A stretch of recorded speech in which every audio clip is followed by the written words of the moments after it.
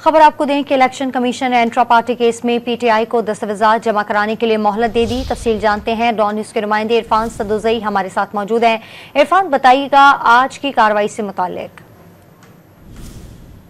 सरदाई में आज तीन रुकनी बेंच ने केस की समाप्त की और पीटीआई की तरफ़ से जो उनके चेयरमैन हैं, बैरिस्टर गौर, वो पेश हुए और उन्होंने जो जो कागजात हैं, वो जमा करवाने के लिए मोहलत मांगी जिसपे इलेक्शन कमीशन ने उन्हें मोहलत दे दी और मोहलत उन्होंने इस बुनियाद पे मांगी। उन्होंने कहा कि गुजशत रोज हमारा जो सेंट्रल सेक्रेटेरिएट है उसके ऊपर छापा मारा गया और वहाँ से तमाम कागजात जो है वो उठा लिए गए।